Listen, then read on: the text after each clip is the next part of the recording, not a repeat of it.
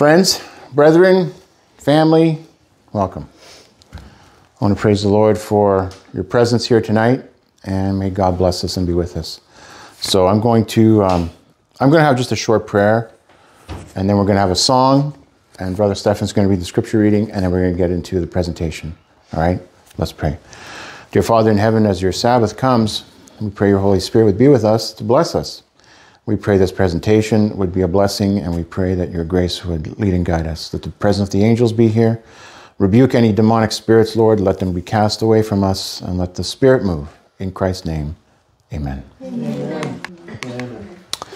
Brother Stefan, please come. Yeah, you can read it from there if you wish. All right, we have Jeremiah chapter 30, verses 5 to 7. For thus saith the Lord, we have heard a voice of trembling, of fear, and not of peace. Ask ye now, and see whether a man doth travail with child. Wherefore do I see every man with his hands on his loins, as a woman in travail, and all faces are turned into paleness. Alas, for the day is great, so that none is like it. It is even the time of Jacob's trouble, but he shall be saved out of it. Amen. Thank you, brother. Amen. Now we'll be dealing with the uh, the time of Jacob's trouble. We're dealing with that last, but I thought it was an appropriate scripture to start with because it's a time where we're heading into, and these times kind of blend together. What we're going to be learning, one step after the other, but not ending really until well, one ending when Christ is finished in the sanctuary, the other ending when Jesus returns. Welcome to Profit from Prophets presents the shaking, the sealing, and the time of Jacob's trouble. Amen. The angel said, Get ready, get ready, get ready. Part one is the shaking. Now, what is the purpose of these studies? We might ask. So, uh, I'm going to read quite a few quotes from the Spirit Prophecy and from the Bible, and we're going to learn what two uh, sources of information, these two sources of truth, tell us as Seventh day Adventists what is going to be happening to us and what is coming in the near future. Now, Ellen says here something very interesting. There is a time of trouble coming to the people of God, but we are not to keep that constantly. Nor she said constantly. She said didn't say not to keep it ever. All right. Some people use that and say, "See, we're not supposed to talk about it. We don't have to preach about it." No, she said constantly, but not ever before the people and rein them up to have a time of trouble beforehand. There is to be a shaking among God's people, but this is not the present truth, the character of the churches. Now, mind you, this was written uh, in the 1890s, and the tone changes somewhat later. All right? She says here Satan's object is accomplished just as surely when men run ahead of Christ and do the work he has never entrusted to their hand as when they remain in the Laodicean state. Lukewarm, feeling rich and increased with goods and in need of nothing, the two classes are equally stumbling blocks. So, in other words, there are those who are trying to run ahead of Christ, there are tro- those who are lagging behind. Either one is just as deadly as the other.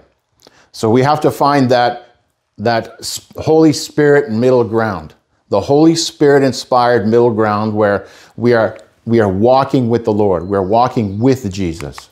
So the purpose of these studies is education. It's not sensationalism, and it's preparation, not hysteria. All right? So on the one hand, the things that we deal with are going to be heavy and invested with truth. And at the other hand, the things that we deal with are also God's love and his great mercy. So it should be an encouragement and a bit of a oomph a spiritual, sometimes what we need a spiritual spanking, a little bit, a little spiritual tweaking to help us get us on our way. All right, let's continue. Okay, so what time are we in? What does Ellen White say? We are living in a time when life is most precious and most interesting.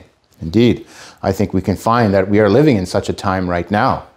The end of all things is at hand. Startling developments will continue to un- unfolding before us, for unseen agencies are at work manifesting intense activity. Now, this is not just in the demonic sphere, it's also in the heavenly sphere. All right? Both agencies are working at utmost capacity for what is coming upon the earth. Everything that can be shaken will be shaken. And those things that cannot be shaken by the deceptions and delusions. Note what she says. By deceptions, which are lies, and delusions, which are false beliefs, all right, of these last days will remain. Rivet the soul to the eternal rock. For in Christ alone there will be safety. There is no safety in our knowledge and in our faith, in our wealth, in our poverty, in our piety, in our, in our intellect, in our physical power. There is no safety in any of these things. There's no safety in our organization. There's no safety in numbers. There's no safety except Jesus Christ. Now, you know, it's easy to say that, but what does that mean? That means that all these things that I've just mentioned, while they may be good and useful, are not the grounds that we base our faith on, but we're basing our faith upon what Christ Himself has done for us. This was given in 1893. So she says, rivet to the rock the soul to the eternal, rivet the soul to the eternal rock, for in Christ alone there will be safety. This is an anchor embedded in stone. The only way to get this anchor out of the stone is to break the stone. Will Jesus break? Mm-hmm. No. If you rivet your soul to this rock, it will never be broken. You will never lose. That's what it means to rivet the soul to the rock. When you rivet something, think of you know, you're using those bolts, those heated bolts, you're driving it into the cement, you're driving deep into the stone. That thing will not move. No surface work, in other words, brethren, no surface faith, no pretend faith will make it. Only true faith is going to make it. All right, the shaking. That's what Ellen White says. We are in the shaking time. She says that's what we're in. We are in the shaking time. Okay, let's take a look a little bit at concepts with regards to the shaking. Now, this is taken from Nehemiah, all right? Also, I shook my lap, says Nehemiah, and said, So God shake out every man from his house and from his labor that performeth not this promise, even thus be shaken out and emptied. And all the congregation said, Amen, and praise the Lord. And the people did according to this promise. So there's nothing new under the sun. The concept of a shaking is not new. It's not something strange. It's not something unbiblical. Okay. It happened in Nehemiah's day where Nehemiah was saying that the people were to perform their duty. And if they didn't perform their duty, they were to be shaken out of the camp. They were to be removed from Israel, that is, lose their salvation.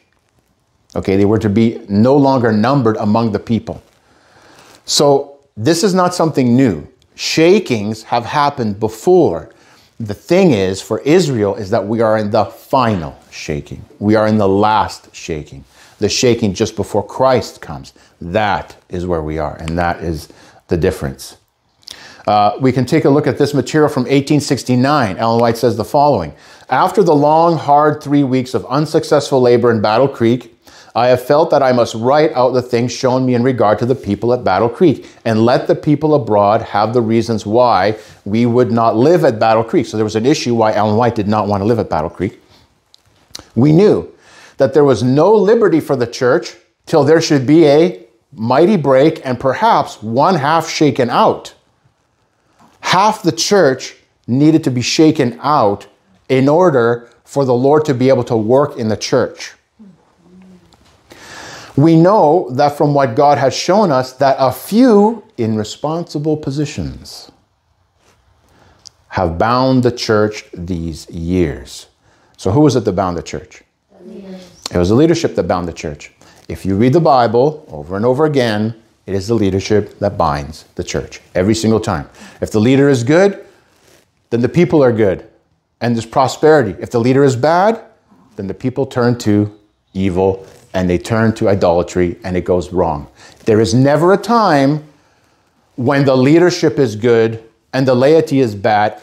Well, I'll say only, only once under Moses. That was the only time when that happened. Everything else, you know it. You see it in the scriptures. The laity are not the ones holding it back, though they have a work to do. We have a work to do as laity. We have to, we have to let God into our hearts and let Him work and, uh, and pray for our leaders. But, brethren, and now we are aware that a terrible necessity alone, a terrible necessity alone will bring things to a point where there will be efforts made, zealous work to meet the minds of the Spirit of God. A terrible necessity. She understood that God at times works upon his people in a terrible necessity and that that wakes them up. And God removes leaders and he sets up new ones. And if they fail, they will be shaken out. And the process will continue until Christ comes. All right, not to belabor the point. But a shaking is normal and necessary. So similar situations have existed in the past, such as Nehemiah's day, in the recent past, such as our church history, and there's no reason to expect any different today. A shaking is required in order to allow God's plans for his people to proceed. Okay, I think that's pretty plain. All right. So Jesus and the shaking. Now, Jesus said one interesting thing. Well, he said many interesting things, but with regard specifically to this, he says this Whosoever cometh to me and heareth my sayings and doeth them, I will show you whom he is like. He is like a man which built a house and digged deep, all right, and laid the foundation on a rock. And when the flood arose, the stream beat vehemently upon that house and could not shake it, for it was founded upon a rock. Jesus spoke of a shaking. Jesus told us how to prevent being shaken out. What does it say? We're supposed to do what? Dig deep, in the foundation, what did Ellen White say? Rivet your soul to the rock. This is no surface work, is the point. It's not a surface work. You have to let God dig deep into your heart. What else did Jesus say? He said, But he that heareth and doeth not is like a man that without a foundation built a house upon the earth, against which the stream did beat vehemently, and immediately it fell, and the ruin of that house was great. Now, do you want to be a great ruin? Or do you want to be a great stone that will not move, riveted to the rock of Christ? That's what you want. That's what you want, brethren. That's what I want. So, building on the rock versus the sand. What does she say? Very interesting. I'm sorry to learn in reference to Brother Haynes. Also feel sad over Elder D.M. Canright. Now, these are brothers that she was familiar with in her time. Okay, it's not too much the focus of exactly who they are at this moment. You can look that up. But anyways, it's the it's what happened that's important. She says, His mistake is just as I've written, because of his self confidence and not digging deep. You see what she talks about? Several times she mentions that digging deep and laying his foundation upon the rock. This guy must have built on the sand, right? His foundation upon the rock, he uh, knew he would come to his present state sooner or later because he has not true religion. I'm sorry for Haynes. He had the same trouble, destitute of practical godliness. The result will be the same in every case that these represent. God's great sieve is shaking and will surely be shaken out. There is a chaff, and what is the chaff to the wheat? Now it's interesting in this statement uh, in 1880 that she incorporated Christ's parable on the house that is built on the sand and the house that is built on the rock and incorporated that into the shaking. Okay? And she's saying he had the same trouble, destitute of practical godliness. You see, what happens often, and what White talks about, is those that know, but it doesn't allow it into the heart. There's no practical change, there's no real change. You're different you're different in your exterior uh, appearance to everyone else. You appear one way, very pious, very something. And then at the same time, at home, you're a bear, you're nasty, and it, the, the, the work has not come into your heart. You understand what I'm saying? She is talking constantly about a deep work. As Job says, they are as stubble before the wind and as chaff that the storm carrieth away. This is what will happen to many people in our church because they have not done the work they have not allowed Christ to touch the heart. And that's the key, brother. We have to let Jesus in. The Laodicean church, it says of him, or, or the church, that Christ is knocking on the outside. I stand at the door and knock. If Christ stands at this door here and he knocks, is he in this room? No. He's not in the room. Okay? We have to let him in the room. All right, so what causes the shaking? Let's take a look. So, one of them is false theories and doctrines. So Brother Haskell spoke uh, taking for his subject the sanctuary question, which is present truth. McCullagh makes derision of the subject, thus showing that he uh, that the counsel given to him to seek to know more of the present truth and stating that he had only a superficial knowledge of it was correct. So she was saying that this man has only a superficial knowledge of the truth. He's not accepting the truth. And she was right. He knows very little of the precious truth for this time because he has not sunk the shaft deep. There it is again. You see, she speaks about that several times, not allowing the shaft deep into the heart. You can build a house on a rock but if you don't rivet it to the rock, off it goes. It's not just building on the rock, it's sinking deep, right? Into the mine of truth to discover precious ore. And what is the precious ore? The precious ore is the character of Jesus. That's the precious ore. The precious ore are fruits of the Spirit love, mercy, gentleness, righteousness. Against those things, there is no law. That is the precious truth. God's Spirit has illuminated every page of Holy Writ, but there are those upon whom it makes little impression. So you can, you can be reading it, but it's making very little impression on you. Your life isn't changing because it is imperfectly understood. When the shaking comes by the indoctrination of false theories, these surface readers, anchored nowhere, are like shifting sand. She uses that terminology over and over again. It's a theme. The shaking is associated with those who either put their, their faith deep in Christ or they build superficially on the sand. And if we don't put our hearts and our minds to the, to the work, we have to put our hearts and minds to work. And if we do that, we'll be digging deep. And if we don't, well, great will be the ruin of that house. So, false uh, doctrines or theories are one of the things that are going to cause the shaking. And I think we're seeing that now. Uh, she says this with regards to false doctrines. She says, False theories will be mingled with every phase of experience and advocated with satanic earnestness in order to captivate the mind of every soul who is not rooted and grounded in full knowledge of the sacred principles of the Word. Is that a superficial knowledge? What kind of knowledge does he say? Full, full, full knowledge of the sacred principles of the Word. We have to have a full knowledge of those sacred principles. Superficial work will not, will not get us through. In the very midst of us will arise false teachers giving heed to seducing spirits. So who's involved? We have satanic spirits that are involved in speaking to our leadership, in speaking to our teachers. There are evil spirits literally speaking to them, and they are taking the words that are spoken to them and then repeating it.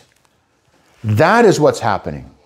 This is why we are where we are, because our institutions, like, uh, like Loma Linda and like Andrews, are overtaken by demonic spirits. That's why they're teaching what they're teaching. That's why homosexuality is running rampant in the church, because demonic spirits have taken over the leadership, and this is what is going on. These teachers will draw away disciples after them creeping in unawares. They will use flattering words and make skillful misrepresentations with seductive tact. Think about that. Skillful representation. Love is love. That is a skillful misrepresentation. It is a catchphrase that catches people, and people don't know how to answer it. Well, water is water, but why don't you drink out of the toilet? Because love has a context and water has a context skillful misrepresentations, buzzwords, things that they will use to shut you down and make you be quiet because you don't know how to answer it. We have to become wise, wise as serpents to answer these evil things. So, this is a modern fulfillment of the shaking. This gentleman, well, I use the term loosely, uh, is Desmond Ford. He's a former Seventh day Adventist professor who taught that all the Old Testament prophecies found fulfillment in the first century AD that the year day principle is not biblical, that multiple applications of the same prophecy exist. So the little horn could be Antiochus Epiphanes. The little horn is also pagan Rome. The little horn is also papal Rome. The little horn is also a future Antichrist. Basically, it makes it completely ridiculous. The little horn could be anything you want. Well, That's exactly Jesuit. Well, it, it could very well be that he was that he was so. Christ begins his Day of Atonement ministry in AD 31. That's not what we believe. We believe in 1844 for the Atonement ministry and disparaging the writings of the spirit of prophecy. Now, Desmond Ford died uh, recently, I think in 2019, But uh, he was an Adventist theologian, he had a great uh, impact upon the church and a very negative impact upon the church because many people are in the church and still believe what this man teaches. This man was a heretic. He denied Christ in the end. And if he did, and if he did that right to his deathbed, he will not be in the kingdom of heaven. No one who denies the spiritual truths that we were given as Seventh day Adventists is going to be in the kingdom of heaven. Not a one. God is not playing with us. This is serious. Doctrine is serious business. False doctrine leads to worshiping Satan. It's serious, brethren. There are false teachers, and Ellen White warned us that there would be. Now, what else causes the shaking? A straight testimony to the Laodicean church. I asked the meaning of the shaking I had seen, and was shown that it was caused by the straight testimony called forth by the counsel of the true witness the Laodiceans. Now, who's the true witness? Jesus. Jesus, that's right. So, it is a counsel given by Jesus that is rejected by many. They're not rejecting just men. They're not rejecting just a message. They're rejecting Jesus Christ, the very Savior that died for them, that they profess to serve. But they're rejecting him. This will have its effect upon the heart of the receiver and will lead him to exalt the standard and pour forth the straight truth. Brethren, vacillating, weak, cowardly, milk toast testimony will get you to hell. I'm going to say it again. That weak toast, milk toast testimony will get you to hell because it shows that your heart is not right with God. It shows that you're not willing to stand for God when He tells you to stand. When God tells you to stand on one thing, you have to stand. It is a salvation issue. Now, God may forgive your weakness, He may forgive your failure, but constant rebellion won't make God hate you, but it'll make you hate God, and you will turn away from God. And that's the problem. It's not that God turns away from any one of us as long as that door is open. As long as there's a chance, Jesus keeps knocking. But when you tell him the final no, that's the last knock you'll ever hear. Mm-hmm. It's serious business. They will rise up against it, and this will cause a shaking among God's people. Uh, if you've seen my sermon, the Sunday Law Update, there was a. Uh, a gentleman who got a little bit hot under the collar, a conference worker who got a little hot under the collar because I had called Ted Wilson uh, a papist and as well as Ganoune Diop. And I was speaking against the leadership, is what he's saying, against the leadership. And then he said, I cannot speak against the leadership. And I said, Yes, I can. And yes, we should. When the leadership is doing wrong, they need to be admonished they need to be told that right is right and wrong is wrong for their salvation. It's not because we hate them, it's because we love them. Jesus told the hard truth. He stepped on toes because he loved people, not because he hated them. It is not hate to tell the truth. That is a liberal lie. That is a lie of liberalism. That is a misconception of the devil. All right? We have to speak the straight testimony. It will cause a shaking, and then let it cause a shaking. Let it cause divisions. It needs to cause division. God doesn't want some of these people in the church because some of them are outright agents of Satan and they will never turn. God will cause a shaking through the straight testimony, and people will leave because they can't handle it and they don't want to hear it. Now, another cause of the shaking is going to be the mark of the beast. What clouds of chaff will then be borne away by the fan of God? Where now our eyes can discover only rich floors of wheat. How many millions of members are there? Was it 25 million, 27 million, something like that? Uh, where our eyes only discover only rich floors of wheat will the chaff blow away with a fan of God, while many who have appeared to be flourishing trees, but who have borne no fruit. Now that's the key. That's the key. They have borne no fruit. What is fruit? Love, mercy, patience, gentleness, meekness, against which there is no law. If you're bearing fruit, it's not a gift, but a fruit, you know you have Jesus in your heart and He's working on you. And that's good news. But if you're not bearing any fruit, if there's no change in your life, Ellen White says that Satan loves to have the gospel preached as long as there is no corresponding change in your life. Preach that gospel, preacher. Because the people don't care. They love the, the sound, but they're going to go home the same, unchanged. But who have borne no fruit will go with the multitude to do evil and will receive the mark of apostasy in the forehead and the hand. This was going to cause a shaking among us. It needs to shake.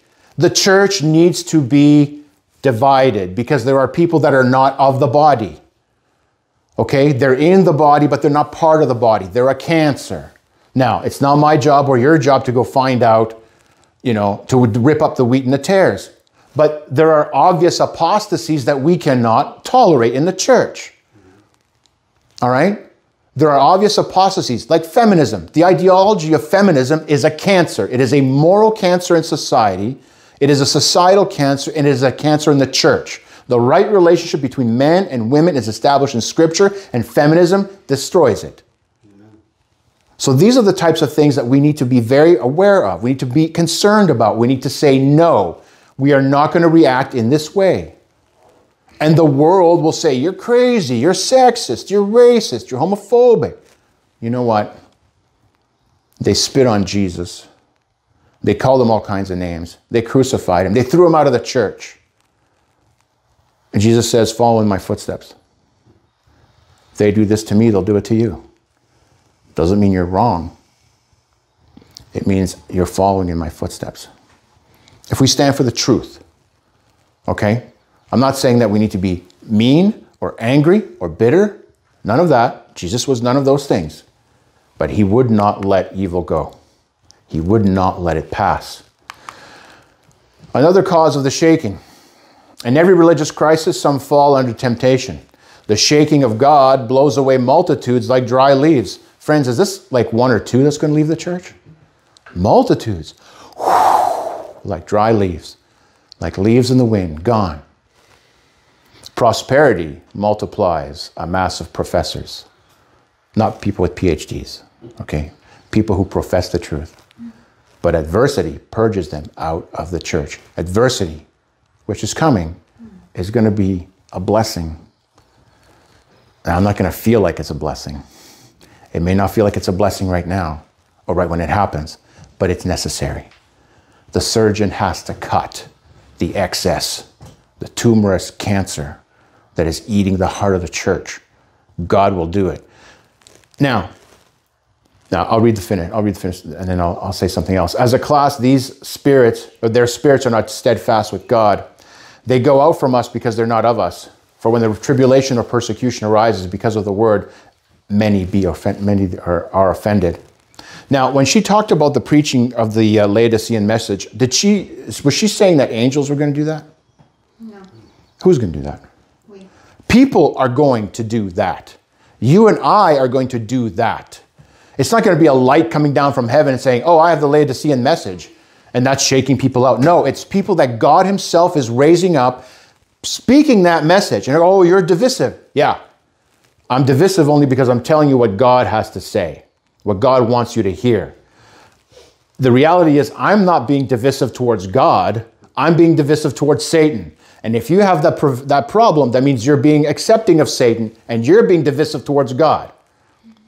God is going to divide the church. God is going to split the church. God is going to come in through his fan and he will shake this floor and he will blow away the leaves. Amen. It's going to happen. It is happening. The world is aligning themselves ideologically with people who are willing to coerce your conscience and those who are willing to stand up for liberty. Brethren, we have to be able to stand up for liberty, for liberty of conscience, liberty of truth. We need to do this. If we don't, we are standing on the side of the black flag of Satan. So, when does the, shaking occur? Okay, now we read uh, earlier a, a short uh, piece that Ellen says, We are now in the shaking. So, let's take a look at what she's saying. At times, I'm worried in the spirit, but when I commit all to God, His peace comes to me. I hear His voice saying, Be still and know that I'm God. I see that the time has come when everything that can be shaken will be shaken. We are in the shaking time. Be assured that only those who live the prayer of Christ working out in the practical life will stand the test. 1900. Okay? Remember before is 1890, and she's talking about this isn't a present truth. Well, she's talking more about it. It's becoming present truth. Okay? The shaking is becoming present truth because we are presently in the shaking and it's getting worse. So this is now becoming a present truth. We are in the shaking time. So now it's a present truth. We are in it. Okay, before she was talking more forward looking. Now she's like, and this is the shaking, not just a shaking within the church, you know, God trying to remove a certain section, but this is the shaking. All right? So it occurs now. Is when it's occurring. It's occurring now since her time. All right? So uh, another thing when does the shaking occur? What else does she say? There is a spirit of desperation, of war, and of bloodshed, a spirit that will increase until the very close of time. So we're going to have more peace? Not going to have more peace. We're going to have more war. Just as soon as the people of God are sealed in the forehead. Now, this is interesting. It is not any seal or mark. Now, we're going to deal with the seal later. Okay? But just, just bear with me. It is not any seal or mark that can be seen, but settling into the truth, both intellectually and spiritually, so they cannot be moved. Just as soon as God's people are sealed and prepare for the shaking, it will come. Indeed, it's begun already. So the sealing and the shaking are working together. They began in Ellen White's day because this statement is from 1902. Okay, so they began in Ellen White's day. So that means that these things progress. They have a beginning where it starts and then it get builds and it builds and it builds. So the shaking is progressive in intensity and its scope. And as we near the close of time to the mark of the beast from 1844, it increases okay, until we get to the red zone, which we're heading to now, I think. I think we're very, I think we're in the beginnings of this red zone, maybe that, that little gold part there, and now heading into the red. Mm-hmm. But that's where we're heading. It is an increase. So will the church fall? Let's see. We're to be ready and waiting for the orders of God. Nations will be stirred to their very center. I know it's a lot of information, brethren. You're being, you're being very good in paying attention. So I hope that you're able to follow what I'm, what I'm saying. All right. Nations will be stirred to their very center. Nations will be stirred to their very center. What's the center of a nation? The government. Okay? Nations will be stir- stir- stirred to their very center. The governments. Some governments may collapse, new governments may come, revolutions may happen. She talks about the spirit of the French Revolution. Did that shake the nation of France to its center? Oh, it did and there was piles and piles of bodies and buckets and buckets and rivers of blood. It was a very deadly, very terrible time. And White tells us we should be looking at going to places away from others. And I know God wants us to do that, each one of us, and He is leading us to do that, each in their own place. Don't fear, don't fret. God will open a door. But that's what he's asking us to do to pull away from the world, to start disentangling yourself. Because if you don't do it now, when it happens, it's too late. Okay, it's too late for you because you already know to disentangle. You already know to let go. If you don't let go now, well, you'll be caught up, even though you know. Remember, these people know the truth, but they have no fruit of letting go from the world and they get caught up. All right. She says, And all who will not bow to the decree of the national councils and obey the national laws to exalt the Sabbath instituted by the man of sin to be disparaged of God's holy day will feel not the oppressive power of popery alone, but the Protestant world, the image of the beast. Satan will work his miracles to deceive. He will set up his power as supreme. The church may appear to be about to fall. Now we get into this one that we have heard often, but it does not fall. It remains while the sinners in Zion will be sifted out. The chaff separate from the precious wheat. This is a terrible ordeal, but nevertheless it must take place. So it's in the context, this statement is in the context of the mark of the beast crisis.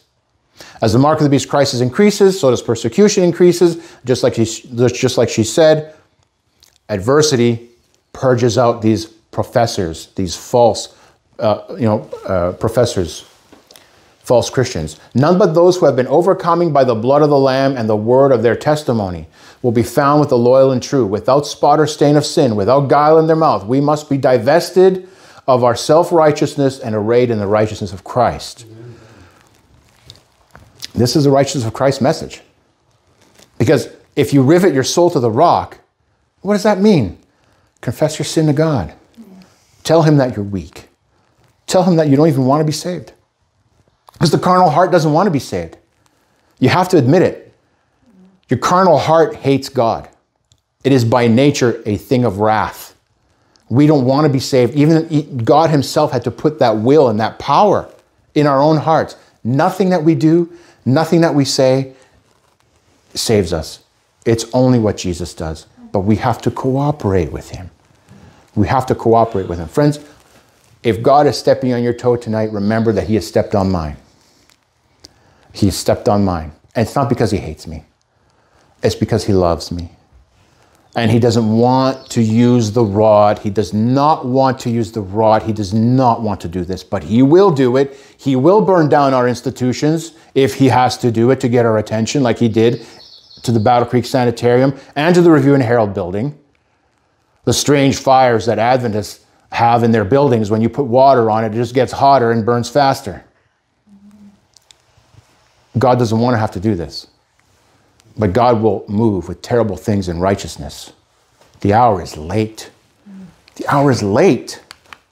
Not just the hour right now, but the hour in the world is late, brethren. The days of purification.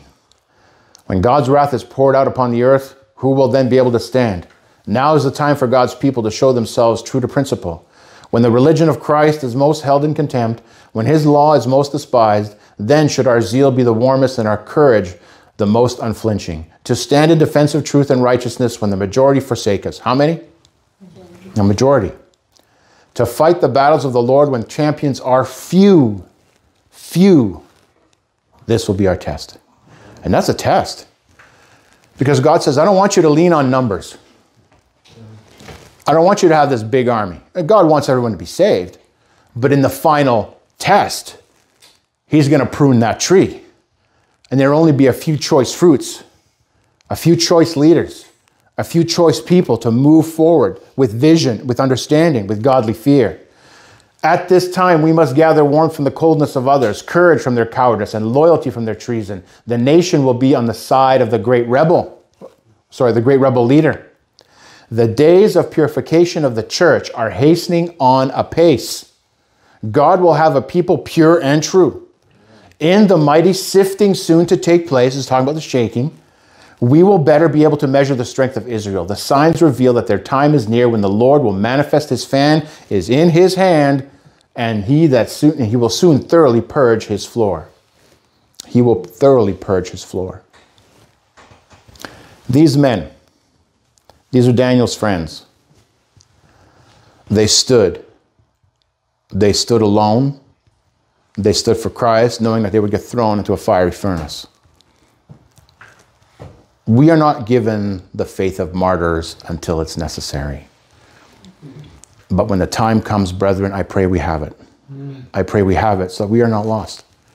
Jesus doesn't want us to be lost. Look, this isn't fun. This isn't, this isn't a game. This is the truth. This is righteousness. This is what Christ wants us to do to stand.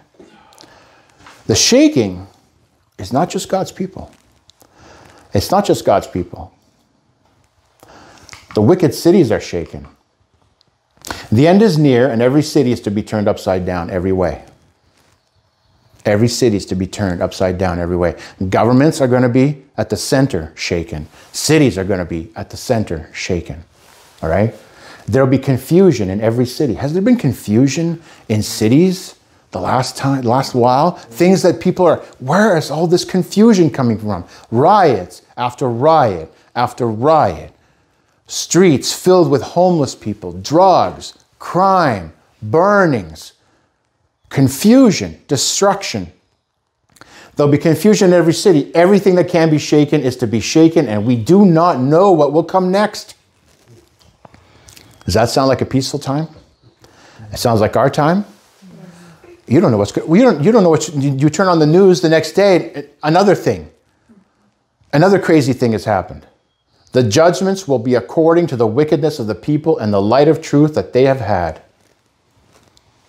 1902. Oh, that God's people had a sense of the impending destruction of thousands of cities, now almost given to idolatry. 1903. The time is near when large cities will be swept away, and all should be warned of these coming judgments. 1910. Gets increasingly worse. Increasingly worse. We have a work to do in the cities, from the country, where we're supposed to be able to go to the cities and speak the truth and then leave and come back and bring people with us. It's not just to go preach the truth, it's to help people because people are going to get kicked out of their homes. Children are going to get kicked out of their homes. Elderly are going to get kicked out of their homes. Parents are going to get kicked out of their homes by their children because the state's going to give the, the children power because the parents want to follow the Lord. We have to build places. We have to uh, think about others. So prepare. Even, even if you can't go somewhere right now, just prepare to help someone, one person. And God, let God move you and help you, and He will show you the way how to do this. But the cities will be shaken and they need to be warned. We're coming near the close, brethren. Don't worry. I won't keep you too much longer. Though Jesus Christ show that you are worthy of the sacred trust with which the Lord has honored you in bestowing upon you life and grace, you are to refuse to be in subjection to the power of evil. As soldiers of Christ, we must deliberately and intelligently accept his terms of salvation under every circumstance, cherish rights cherish right principles and act upon them. Divine wisdom is to be a lamp to your feet. Be true to yourselves, be true to your God. Everything that can be shaken will be shaken, but rooted and grounded in the truth. There, that rooting, that grounding again. Okay? You will abide with those things that cannot be shaken. Do you want to abide with those things that cannot be shaken? Amen. Raise your hand. Amen. Amen. Amen. We want to abide with those things which cannot be shaken. Can Christ be shaken? No. He can never be shaken. Can the Father be shaken? No. no. Can the indwelling of the Holy Spirit ever be shaken? No. Can the angels ever be shaken? No. Because they all abide in Christ, they all abide in God. God cannot be shaken, and we will not be shaken if we do not refuse the entrance of Christ into our heart. Amen. Okay, He is knocking. Let Him in. Let's let Him in. Oh, I want to read that last bit. The law of God is steadfast, unalterable for it is the expression of the character of Jehovah. Every attempt that Satan will make in false doctrine attacks his law. It'll lead you to the false Sabbath, it'll lead you to breaking every other law. So beware. Someone comes with a message and saying, hey, this is a message from God and leads you away from the truth and the law, liar, no matter how many miracles they do in front of you. Make up your mind that you will not, by word of influence, cast the least dishonor upon its authority by our actions and by our words, we are to uphold that law. And it's it incumbent on we are all we all affect each other. Okay? We all influence each other here. And we need to influence each other for good and not evil, right? To help each one another. Pray for each other. Remember each other in prayer. Look for ways to help one another. And that's how we grow as a church. That's how the world sees that we love each other. Okay, it's not about infighting and bickering. Oh, you're doing this, and you had two scoops of ice cream, and you know that that's not the point. But the point is to support each other, to love one another, to really, when you see something wrong, go to that brother, go to that sister, pray with them, love them, tell them you're not against them, you want to help them. Rivet to the rock, rivet the soul to the eternal rock, for in Christ alone there will be safety, brethren. In Christ alone there will be safety. Let's pray. Dear Father in heaven, thank you for the brethren here today. I, I pray that I haven't burdened them too much. I pray your Holy Spirit will lead and guide them. Bless us as we enter into your Sabbath soon. May your angels be at our side to give us wisdom to overcome the things that are coming upon the world. And Lord, give us the Holy Spirit. We need the outpouring of the Holy Spirit. And may your spirit come upon this small company in Christ's name. Amen. Amen. Amen.